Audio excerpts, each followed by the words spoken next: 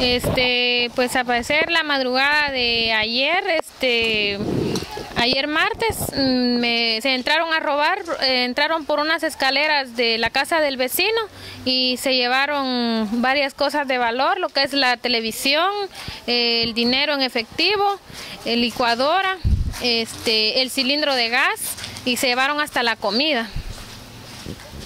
Bueno, eh, ¿por dónde más o menos ingresaron estas personas? Eh, la escalera está puesta en, en, la calle y que ingresa a la terraza y de la terraza se pasan a la terraza de mi, de mi local.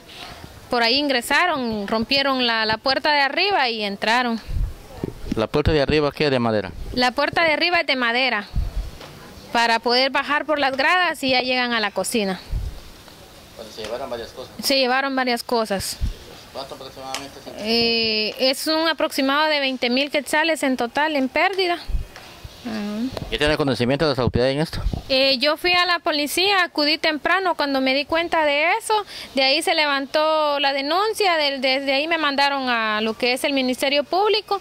A la hora de llegar al Ministerio Público me dijeron que regresara después de mediodía para que pudiera seguir con la denuncia, para, para que ellos pudieran autorizar que, que vinieran a tomar las fotos.